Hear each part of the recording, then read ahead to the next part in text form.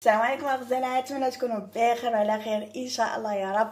اليوم غادي نديرو آه غداء أو عشاء. المهم فكرة بسيطة. وهاد الشيء هو اللي غادي نديرو. ديال المعكازات ديال الكاسورات ديال الطلاب ديال المرأة العاملة. المهم تيجي بنين في الاخير بمكونات يعني سهلة وبسيطة. غندير سباكيتي بالطون وبالصلصه الوردية.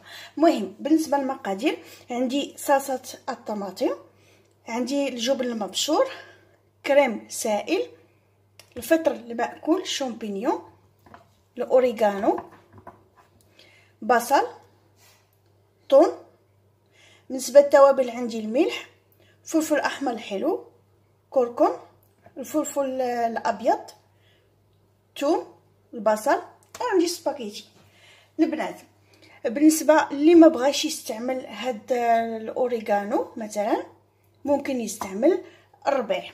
أنا غادي نستعمل الربيع المهم اللي بغيتو أنا نوريكم أشنو اللي تنستعمل. وعندي آه بالنسبة للثوم اللي ما بغاش يدير هاد الثوم طرية يدير الثوم بودرة. بالنسبة للجبن الجبن غير آه بالنسبة للطماطم من الأحسن ديروا هاد الطماطم هذه تتكون سريعة جدا. وبالنسبة للأخوات اللي كاينين في ألمانيا راه شريت هذا فنيتو صراحة لذيذ لذيذ لذيذ بزاف يعني ما ما فيه لا حموضة لا والو. يعني أحسن واحد هو هذا راه ما تندير لا اشهار لا والو. المهم. فيكم ليكن في علمكم. هادشي اللي كاين البنات بغيتو تستغناو على الطون تستغناو عليه. اللي بغيتو المهم بالنسبة للصلصة الوردية راه ضروري تكون فيها الكريم سائل ماشي كريم فريش يعني داك العقد لا حنا محتاجين السائل.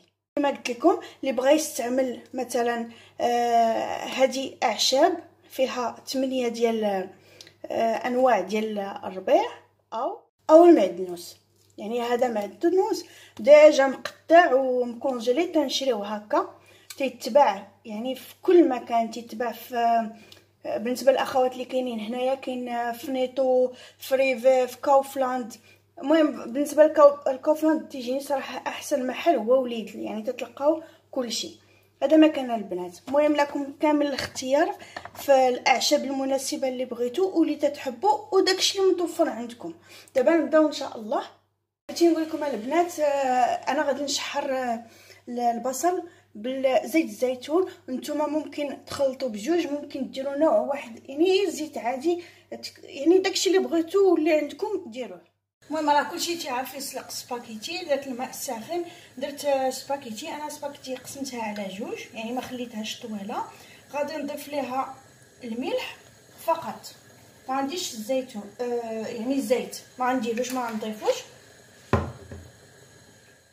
غادي نخليه يطيب ومن بعد غادي نصفيه. المهم نتوما تبعوا التعليمات اللي مكتوبة في, يعني في في الخنشة ديال السباكيتي. دابا راه شعلت البوطة ودرت البصلة ودابا غنزيد إن شاء الله زيت الزيتون.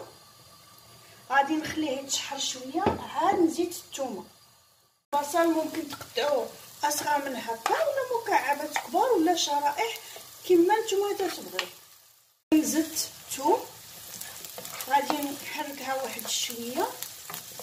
وغادي نغطيها غادي نخليها واحد خمسة دقائق ونزيد عليها الفطر المأكول. بعد غادي نزيد الفطر المأكول ولا الشامبينيون من بعد ما غسلتو مزيان مزيان. غادي نحرك واحد ثلاثة دقائق وعاد غنزيد صلصة الطماطم. الله غنزيدو صلصة الطماطم. اللي بغيت نقول لكم البنات بالنسبة لصلصه الطماطم اللي اللي كاينين في المغرب راه تيتباعوا في الكرتونات هذا هو اللي تستعملوا. تيجي زوين الصراحه يعني بالنسبة للناس اللي زربانين يعني وما عندهمش الوقت يستعملوا هذيك. ما يستعملوش ديك الطماطم المصبرة ويديروها في الماء. لا ما ما تجيش. ديروا هذه اللي تتكون في الكرتونه تجي زوينة بزاف. إلا ما بغيتوش عندكم الوقت حكوا مطيشة. طرية ومن بعد تزيدوا ليها طماطم مصبرة. المهم ديروا داكشي اللي عندكم. غادي نزيد إن شاء الله الربيع. توابل الملحة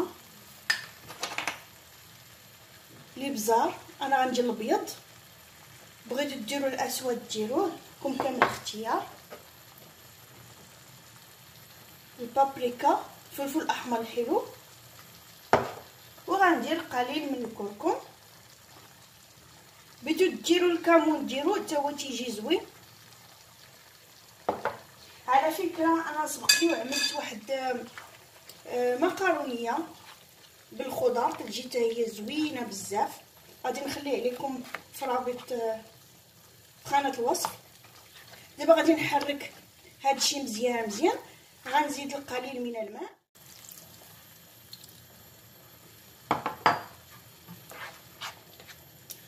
وغادي نغطيو عليه. نخليوه شي شوية ديك الطماطم صلصة الطماطم تشرب التوابل مزيان مزيان. ومن بعد نكملو التتمة إن شاء الله. إن شاء الله غادي نزيد قشطة الطرية السائلة.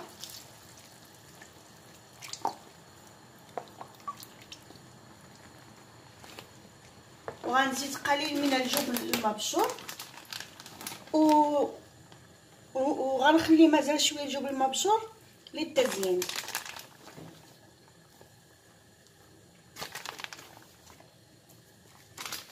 إلا بغيتو تستعملوا جبن كريمي استعملوه ماشي مشكل. نحركو مزيان ونخليه يطيب واحد شوية. من ما هذيك الصلصة آه تشرب مزيان بالتوابل وتوكح شي شوية. تختار.